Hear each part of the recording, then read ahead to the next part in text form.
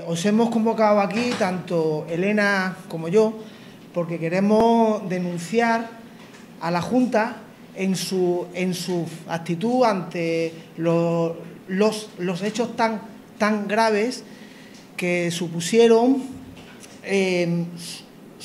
suspender de las, de las subvenciones de empleo a la Fundación Guadalquivir Futuro y ante su falta de, de, respuesta a este ayuntamiento. Eh, os hago un, pequeño resumen. Eh, ya sois conocedores que la Fundación Guadalquivir fue y está siendo investigada por unos hechos bastante graves que no vamos a recordar porque son del todo conocidos. Eh, mientras se estaba produciendo esta investigación, el Ayuntamiento de Córdoba suspendió de manera cautelar una, una, una subvención tanto a la Fundación Guadalquivir Futuro como a la Asociación de Jóvenes hacia el Futuro. Eh, y esta suspensión está a expensa de que la Junta conteste si hay una resolución firme por los hechos que está investigando. Eh, esto fue en el mes de noviembre y desde entonces estamos esperando. Hemos enviado distintas comunicaciones a la Junta, pero nos han contestado siempre que estos hechos están siendo aún investigados. Hace unos meses la Junta mandó una carta a la Diputación diciendo que, que esta suspensión afectaba solo a las subvenciones correspondientes a empleo. Y nosotros, alertados ante esta noticia, pues investigamos, hicimos las, las consultas pertinentes y entendemos desde el ayuntamiento que cuando hay algo tan grave como la suspensión del derecho a percibir subvenciones por parte de una entidad, esto afecta a cualquier administración. De hecho, eh, la ley se llama la Ley General de, Subvenciones y no la Ley General de Subvenciones de la Junta, de la Administración Local o del Estado. cuando se produjo esta, esta circunstancia, pues yo hablé con Elena, con mi, con mi, compañera, para que ella pudiera, pudiera, pudiera trasladar al consejero nuestra interpretación de la ley y además basada en consulta a personas especializadas. Y bueno, pues de esto ya hace meses. Eh, nosotros seguimos sin respuesta de la Junta, entendemos que es un hecho que es bastante grave, estamos hablando de un caso que ha creado bastante alarma social, estamos hablando de la gestión de un dinero público que se ha demostrado que no ha sido empleado de manera adecuada y eh, hay unos hechos bastante graves detrás de él. Y ya después de tanto tiempo no nos queda más remedio que hacer la denuncia pública ante los medios de comunicación. Y le paso la palabra a Elena que va a completar esta información.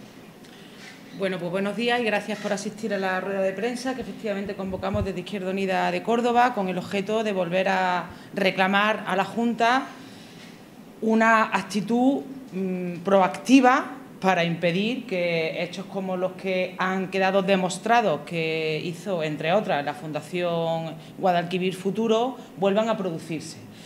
El Gobierno andaluz, en este caso, sigue manteniendo una política de brazos bajados para defender el dinero público. Eh, desde la Consejería de Empleo, que es la que eh, bueno, pues tiene que abordar este informe, saben, porque así se lo trasladé yo a, miembros del Consejo de Gobierno, de la Consejería de, Empleo, que en el caso de que una fundación, una asociación sea eh, sancionada por una falta muy grave, como es el caso, es una prohibición total, según el artículo 24 de la Ley General de Subvenciones, que es una ley de aplicación básica para todo el Estado, porque Andalucía no tiene una ley de subvenciones de su territorio, no es, eh, o sea, es una suspensión para el conjunto de subvenciones del conjunto de las administraciones, no solamente en este caso las de empleo, como eh, aparecía en ese primer informe que evacuó la Consejería de eh, Empleo.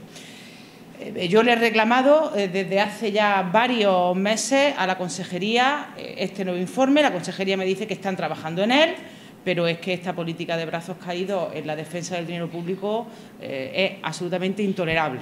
Fruto de esta dilación que no tiene explicación, porque son conscientes de que la ley dice lo que dice, es que planteamos esta rueda de prensa para eh, bueno, exigirle a la Junta que de manera inmediata evacúe un informe acorde con la Ley General de Subvenciones, con el artículo 24, que proteja el dinero público de asociaciones y fundaciones, como es el caso, que se ha demostrado que no solamente se quedaban con mordida, sino que en algunos casos, además, no han destinado el dinero para el fin al que les fue concedido y que, por lo tanto, actúen como se espera de un responsable, de un representante público que, entre otras cosas, tiene la obligación de que el dinero público que sale de la consejería se gaste para el fin que está previsto. No entendemos esta demora si no es porque efectivamente, como venimos denunciando desde Izquierda Unida de Andalucía, la Consejería de Empleo un auténtico desbarajuste, un disparate.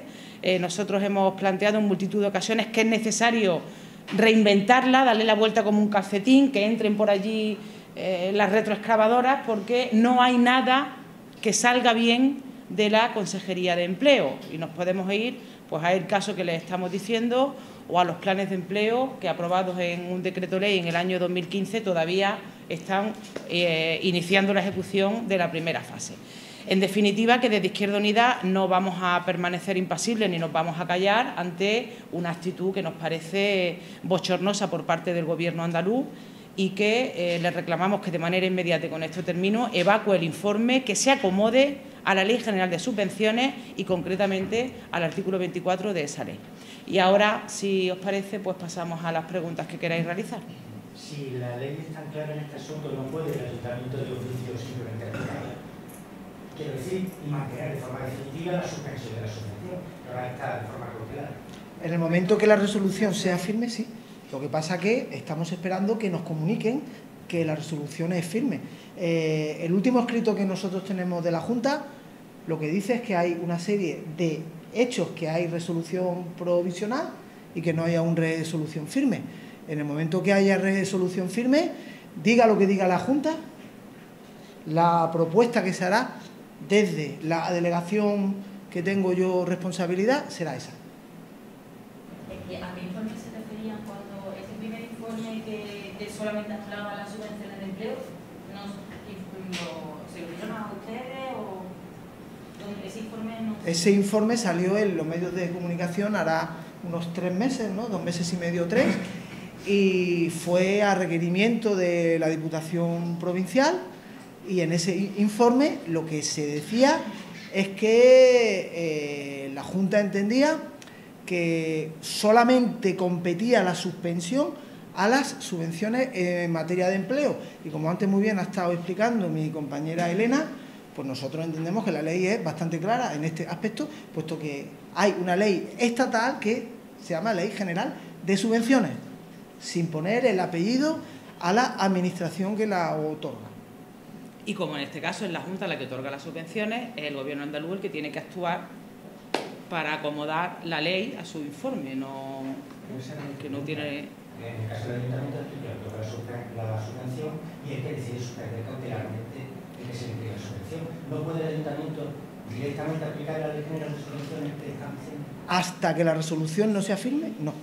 ¿Por qué? Porque eh, la ley habla de una resolución firme. Entonces, eh, único es, mm, la, única herramienta que nosotros hemos, hemos tenido es la suspensión cautelar.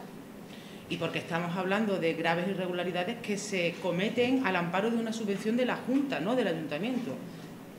El, el, gobierno autonómico, el que tiene que asumir su responsabilidad y hacerlo. Lo que no es de recibo es que se tire tres meses de dilación para acomodar un informe lo que dice la ley. paralelamente,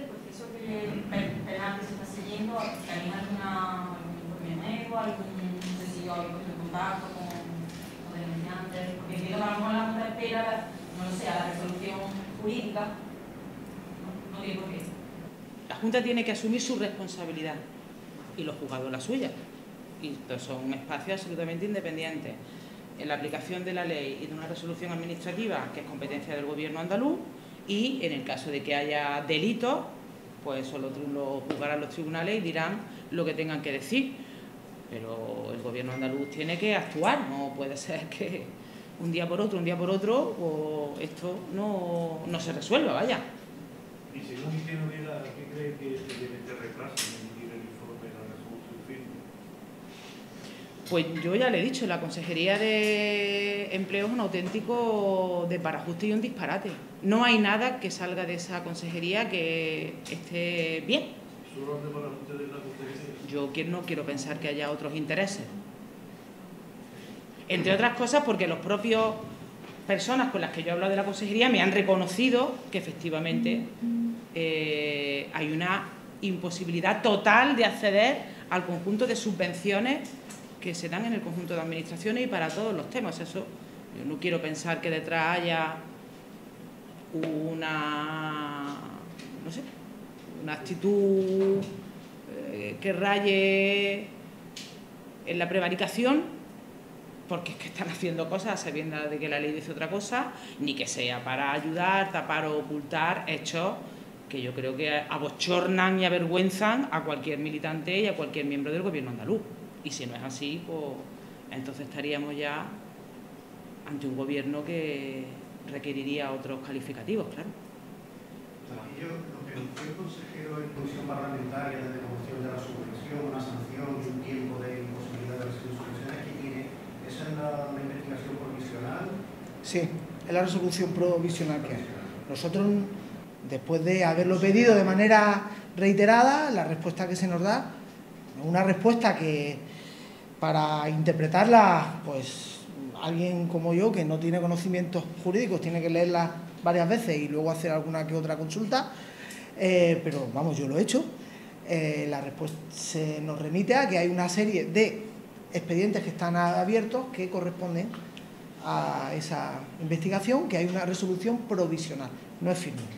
Claro, es que tengan en cuenta que hay un montón de administraciones que conceden subvenciones. Y la realidad es que esta fundación y la asociación se presentaban a todas las subvenciones que había, de políticas sociales, de políticas de igualdad, de políticas de...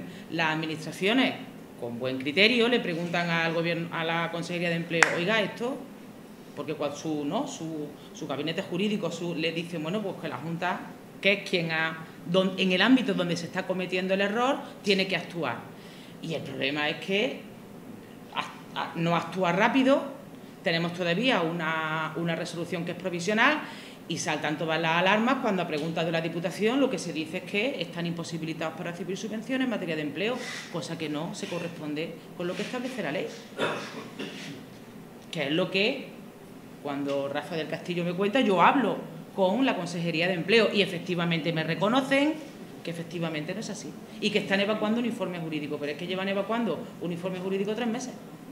Y esto ya hay un momento dado en que, en fin... Eh, yo le pregunto a ella cada semana. Cada semana me pregunta. Y yo cada vez que voy al pleno pregunto. Y va a salir, y ya va a salir, y ya va a salir. Y el problema es que aquí estamos hablando, en fin, de una cosa muy gorda. cualquier cosa, vaya. No. Se dirigieron una vez para que le explicáramos un poquito más qué significaba esta suspensión provisional y nosotros se lo explicamos.